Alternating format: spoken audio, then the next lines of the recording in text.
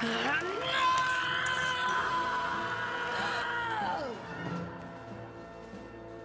most powerful thing in the world. Ah! I don't think so. you have no idea who you're dealing with. You want a show? I'll give you a show. Back up and get ready for the main event. You selfish, evil...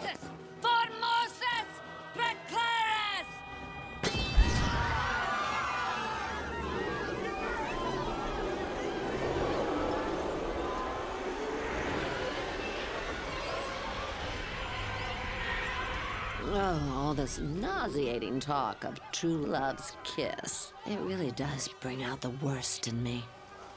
You know, I've been thinking if I'm going to remain queen, I'm going to need some sort of story when I go back. Hmm, what if a giant, vicious beast showed up and killed everyone? And poor, defenseless Queen Narissa, she just couldn't save them.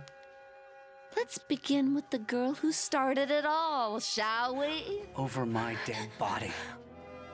All right, I'm flexible. Come along, Giselle. I don't want you to miss this ending.